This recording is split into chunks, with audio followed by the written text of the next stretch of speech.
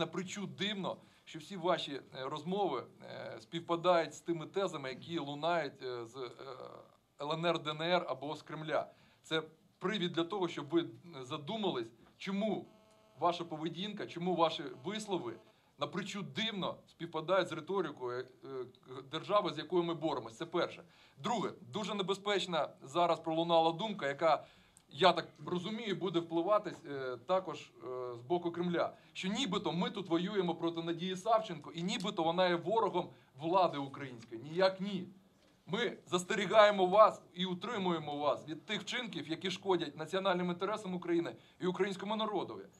Тим паче тим хлопцям, які потрапили в полон, і з боку спецслужб вони зауважували, що саме ваша необдумана поведінка принесе загрозу процесам перемовини. Що ми боремось не з вами. Ми боремось з вашою дурістю, з вашою безповідальністю. Безвідповідальністю за всі ваші дії, починаючи з того, як ви були офіцером Збройних сил, і з'явились незрозуміло як на окопах. Тобто, Як ви повели і те, людей, як на смерть.